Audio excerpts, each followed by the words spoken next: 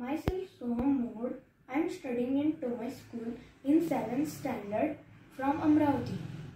My topic is burglar alarm. A burglar alarm is also called a security alarm. Here I have made a model of a burglar alarm. A burglar alarm helps to protect our house from robbers, thieves or unwanted person. Now see how my model works. I have used uh, a, a toy puzzle house, then some pieces of matchsticks, then a piece of cardboard for the base, two wires, one battery and breadboard and two transistors.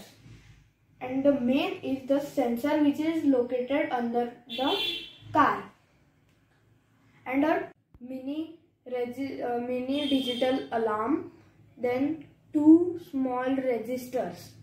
Now i will show you how this model works. If any stranger try to steal the car the alarm rings. If we place the car on the sensor it don't stops ringing until the owner of the car stops it. Here i will the owner of the car is being alert that someone is stealing our car. So uh, so this way we can secure our important things with the help of burglar alarm. Thank you